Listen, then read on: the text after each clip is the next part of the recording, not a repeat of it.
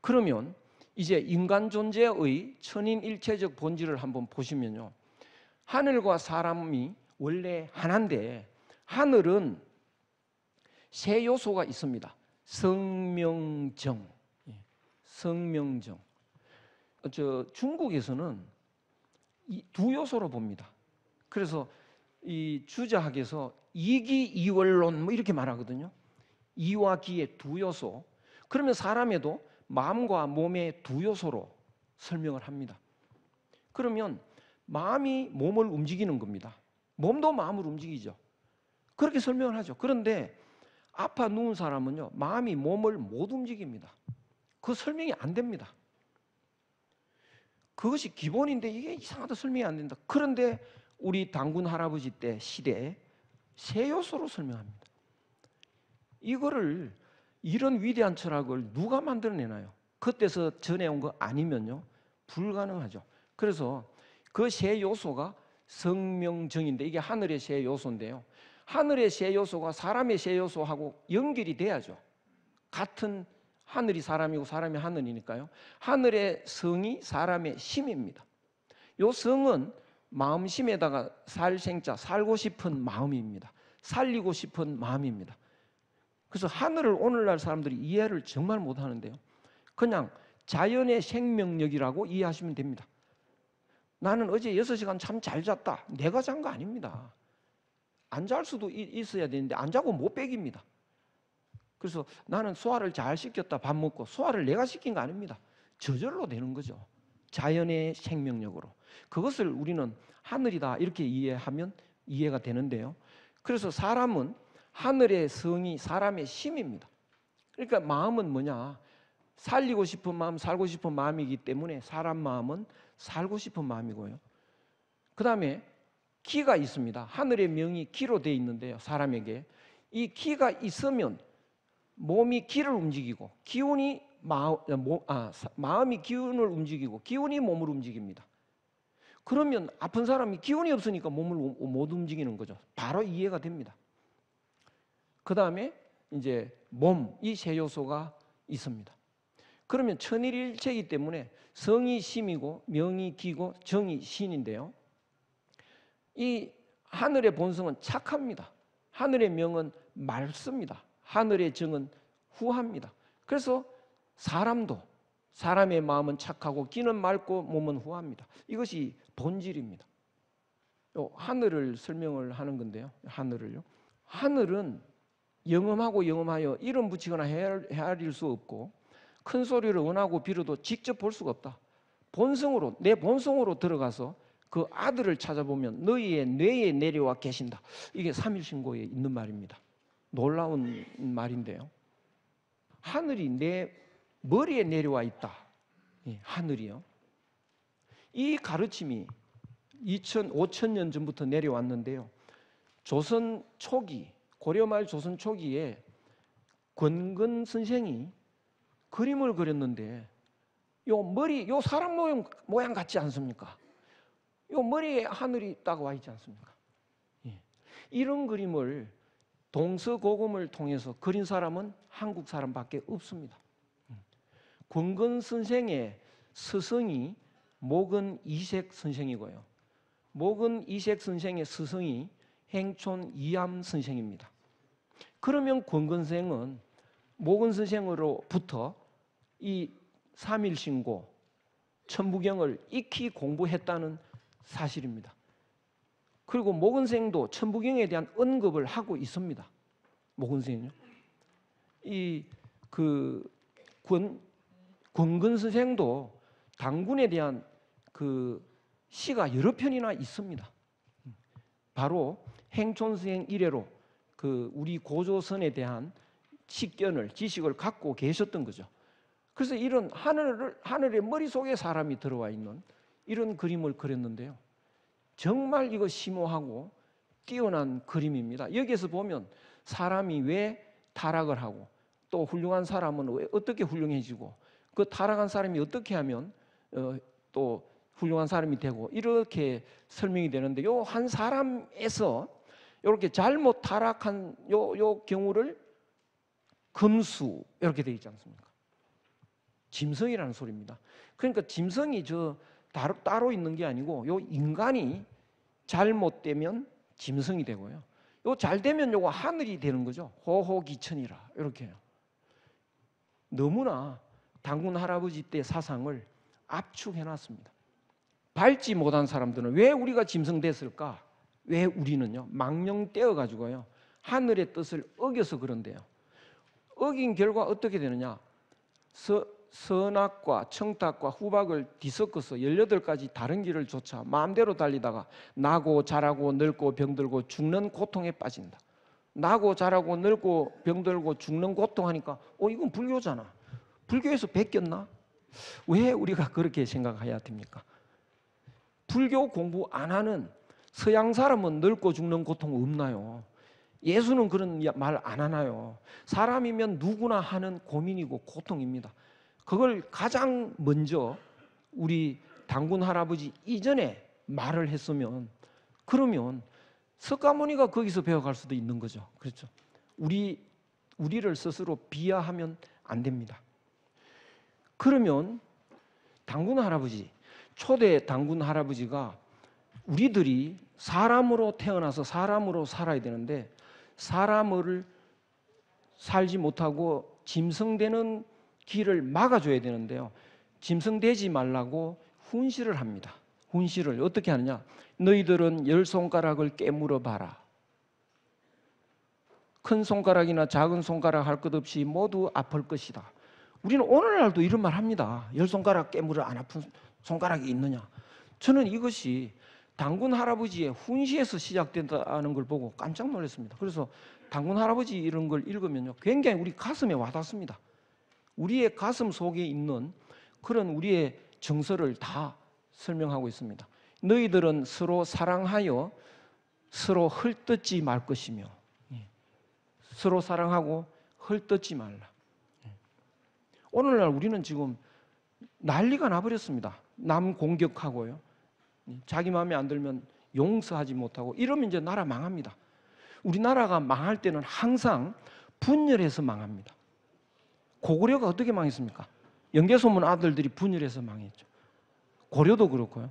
남하고 한번 싸워서 망하는 게 아니고요. 내부 분열로 망합니다. 조선은 당파 싸움 맨날 하다가 분열돼서 망해버렸죠. 그래서 우리는 조심해야 됩니다. 우리나라는요, 분열로 가면 망합니다. 음. 화합을 해야죠. 당군 할아버지가요, 분열하지 말아라. 우리가 망할 길을 알고 있습니다.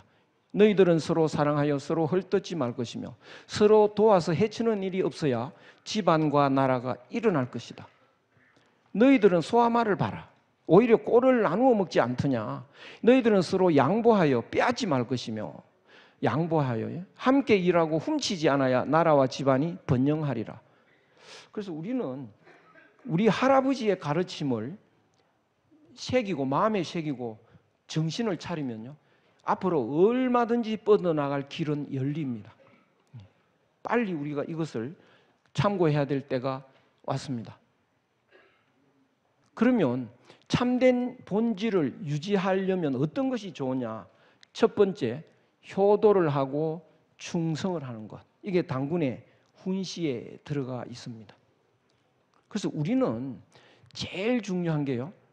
우리가 하나라는 건데 하나를 유지하는 핵심이 뭐냐? 다 남 같은데 남 같지 않은 사람이 있습니다. 바로 부모입니다. 그래서 부모와 나는 남 같지 않으니까 효도하게 되는 거죠. 효도하게 되면 어떻게 되느냐? 형제가 위에 있게 됩니다. 그러면 삼촌하고 사이가 좋습니다. 사촌하고 위에 있게 됩니다. 그래서 효도에서부터 모두가 하나 되는 길에 출발점이 되는 것이죠. 그래서 우리는 옛날부터 효도하는 사람들인데요. 그래서 사람을 평가할 때 첫 번째 기준이 효자냐 아니냐를 보는 것 굉장히 중요합니다. 그 다음에 우리는 화합하면 엄청나게 뻗어나는데요. 분열하면 망합니다. 그래서 회사 이런 데 가서 볼 때 서로 우에 있고 이 사원끼리 활기가 있고 화합하고 이런 데는요 굉장히 뻗어나고 냉랭하게 한 사람 승진하면 나머지는 다 배 아프고 이러면요 망하는 회사입니다. 그 모든 그 성공과 실패의 원인이 여기에 다 설명을 해놓고 있습니다. 해답이 있습니다. 그러면 이제 참된 인간을 회복해야 되는데요. 그 사람이 마음이 하늘 마음과 같아서 착한데 망령돼서 악한 마음이 생깁니다. 그래서 마음에는 착한 마음, 악한 마음이 있는데요. 착한 마음을 가지면 복을 받고 악한 마음을 가지면 재앙을 받습니다. 그래서 우리가 착한 마음을 회복해야 되는데요. 여러 가지 방법이 있는데 그 중에 많이 통용됐던 옛날 방식 중에 노래를 통해서요. 그래서 노래라는 것이 사람의 마음을 바꾸는데 굉장히 빠른 효과가 있습니다. 그래서 의아가라는 노래를 지어서 모든 행사 때마다 함께 불렀습니다. 그래서 아, 아 우리의 그 마음은 어, 악한 마음과 착한 마음이 있는데 이 악한 마음은 우리가 마음만 먹으면 바로 없애버릴 수 있다. 백백천천 우리 모두 큰알처럼 하나 되어 수많은 관역을 수하부수자 이 관역을 이제 악으로 생각하는 겁니다. 악은 뭐냐? 끓고 있는 물 같은 어, 아 착한 마음은요. 끓고 있는 물 같은 착한 마음 속에 한 덩어리 눈뭉치입니다. 금방 녹일 수 있습니다. 그래서 이 노래를 다 같이 불렀는데요. 그 다음에 우리의 기운이 있는데요. 기운. 기운은 맑은 기운이 근본인데 이제 사람이 망령돼서 탁해집니다. 그래서 몸을 맑게 해야 되는데요. 맑은 기운을 회복하면 장수하게 되고요. 기가 탁해지면 요절하게 됩니다. 그러면 어떻게 하면 맑게 할 수 있는가? 몸 안에 이 방에 기운이 공기가 탁하면 어떻게 해야 되나요? 문을 열어야 되죠. 문을 열어서 맑은 공기를 끝까지 이렇게 환기를 시켜야 되는데요. 우리 몸에 기운이 탁하면 창문을 열어야 되는데 그 문이 코입니다. 그래서 코로 바깥 공기를 깊이 들이켜서 온몸에 탁한 기운을 뱉어내고 순환시켜야 됩니다. 그러기 위해서는요, 호흡을 깊이 할 필요가 있습니다. 그 방법이 조식이라는 겁니다. 조식. 예. 그래서 조식은 호흡을 이렇게 가다듬어서요, 이 깊이 들이쉬고 깊이 내쉬 이 훈련인데요. 이 당군 할아버지 때 조식법이 공자 맹자에는 그대로 전달이 됩니다. 그래서 맹자에 보면 호연지기를 기른다라는 설명이 나오는데요. 호연지기를 기른다. 굉장히 어려워가지고 맹자를 가르치는 사람이 이 구절만 되면 쩔쩔맵니다. 뭔 소린지 알아야죠. 이 호연지기에 대한 설명은 이렇게 돼 있습니다. 호연지기는 지극히 크고 지극히 구세다. 왜곡되지 않고 곱게 잘 기르고 해치지 않으면 그 기가 천지 사이에 가득 차게 된다. 그 기는 의로움과 도의 짝이 되는 것이니 의로움과 도가 없어지면 기가 쭈그러든다. 이는 지속적인 의로움으로 만들어내는 것이다. 한 번의 의로운 행위로 갑자기 다가서서 가져올 수 있는 것이 아니다. 행동이 마음에 흡족하지 않으면 기가 쭈그러든다. 나는 그 때문에 고자는 의를 알지 못한다고 하는 것이다. 의로움을 밖에 있는 것으로 여기, 여기기 때문이다. 반드시 1, 3때 미리 작정하지 말고 이게 무슨 소린지요? 굉장히 어렵습니다. 반드시 1, 3때 미리 작정하지 말고 마음속에서 잊지 말되 빨리 아 이거 호흡 시간이 길어지도록이라는 건 제가 넣어서 좀 이해가 되는데 그 말도 없습니다. 빨 그 마음속에서 잊지 말되 조장하지 말아라 이렇게 나와 있으니까요. 지금까지 맹자 읽는 사람이 이 부분에 대해서는 헤매고 있는데요. 어느 순간에 이제 이 기가 완전히 맑은 기로 바뀌면 우주 전체에 있는 기하고 하나가 되어 버립니다. 문이 완전히 열려서 이 공기가 완전히 하나가 되면요. 바깥 공기하고 똑같아지는 거죠. 그래서 내 몸의 기운은 우주 전체의 기운이다. 그래서 우리가 몸이 아프고 힘이 빠지고 하는 것은요. 기가 막혀서 그렇습니다. 코가 있는데 왜 막혔냐? 코가 코 역할을 못 하는 거죠. 깊이 호흡을 해야 되는데 그걸 못 합니다. 그래서 제일 깊이 호흡한 했을 때가 언제냐? 배 속에 있을 때입니다. 그걸 태식이라고 하는데요. 태아 때 호흡. 그 호흡을 회복하는 거죠. 그것이 조식의 핵심입니다. 그 다음에 몸가짐이 있는데요. 몸은 어떻게 유지해야 되느냐? 몸은 후하고 박한 두 가지 몸이 있는데요. 후한 게 원래 우리 몸인데 잘못 간직하면 박해집니다. 박해지면 어떻게 되느냐? 천한 상이 되고요. 후해지면 귀한 상이 됩니다. 그래서 우리 상을 보면 얼굴을 보면 아주 예쁜데 천한 사람이 있고요. 못생긴 것 같은데 귀한 사람이 있습니다. 그래서 그 귀천이라는 게 신분이 아니고요. 몸의 모습입니다. 근데 몸은 어떻게 해야 귀하냐? 후해야 귀하고요. 박하면 천한 모습이 되는데 그러고 보면 몸가짐이 굉장히 중요합니다. 그러고 나면요. 논의에 이 향당편이라고 있는데 공자의 음식에 대해서 굉장히 까다로운 설명이 있습니다. 그것이 전부 이해가 됩니다. 그래서 공자 맹자까지는 우리의 사상이 그대로 전달되고 공자 사상의 핵심이 인인데요. 그 인은 바로 당군 할아버지 때 말하는 하나의 사상이고요. 하나가 한 마음이거든요. 우리가 하나니까 마음은 하나죠. 그 한 마음을 공자가 인이라고 설명을 했습니다. 그래서 유학의 그 핵심이 다 우리의 사상에서 건너갔다. 그런 증거 있느냐? 잔뜩 있습니다. 증거 제가 논어에서도 다 찾아낼 수 있습니다. 그래서 그런 생각으로 하고 보면 보이는데요. 우리께 뭐가 있겠어라는 생각으로 보면 하나도 안 보입니다. 몸을 후하게 유지하는 방법은요. 남하고 자꾸 다투고 이러면 몸이 그 후한 몸이 유지가 안 됩니다. 그래서 당분간 검촉이라고 해서 접촉을 좀 막고 격리할 수련이 필요합니다. 그래서 옛날에 동굴에 들어가서 혼자서 이렇게 그것이 자기 남하고 그 이 접촉을 막는 거고요. 그 다음에 체온을 유지해야 됩니다. 체온을요.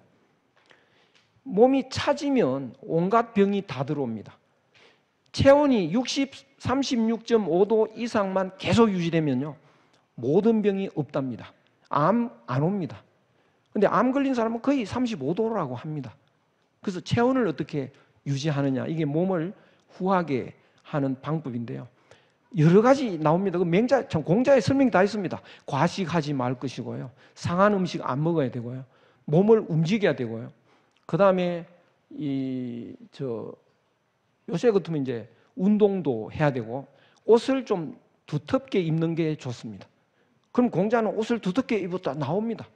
그런데 두텁게 입어도 잘 때는 이불을 찾던지니까 몸이 차지죠. 잘 때가 문제입니다.